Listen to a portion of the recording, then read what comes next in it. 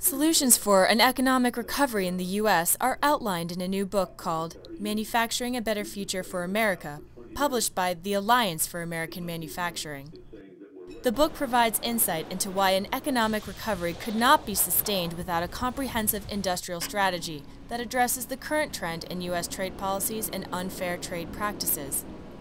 The book is a very useful tool for policymakers because it shows how our trade policy needs to be reoriented. It shows that there are real costs to deindustrializing and putting all, all our eggs in the financial services basket or all our eggs in the knowledge economy basket, very risky. Without manufacturing, you're not going to create the wealth that you need to sustain an industrial, modern economy. You're not going to create enough wealth to, to pay for education, to pay for health care, to pay for infrastructure. Whether or not our children have a, the same opportunity and standard of living that we have really depends enormously on the future of manufacturing. Richard McCormick says that the U.S. no longer produces what it consumes, and that an increase in consumer demand is not the answer.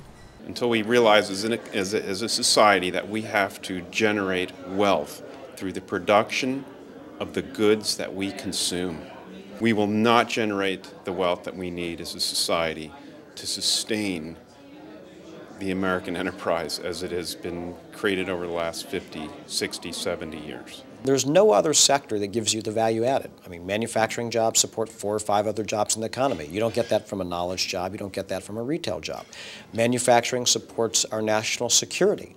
I mean, if we don't manufacture the things that uh, we need for our nation's defense here, we're going to be in big trouble down the road. I don't think the American people want to see that.